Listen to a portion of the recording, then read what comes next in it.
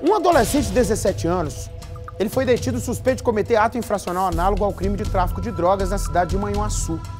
Durante uma operação de repressão à violência no bairro São Vicente, militares viram então duas pessoas em atitude suspeita em uma rua. Aí, ao perceber a aproximação da polícia militar, a polícia disse que uma delas arremessou algo na vegetação acima da via, né?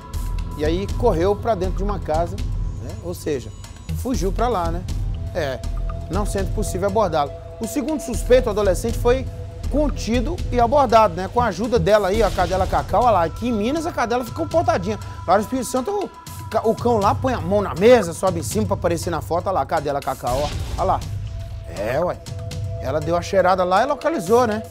Mostrou pros militares, então eles localizaram e apreenderam 90 pedras de crack e uma munição calibre 32, aquela munição que tá lá, ó. E um dinheiro, tem lá sete contos, sete reais, né?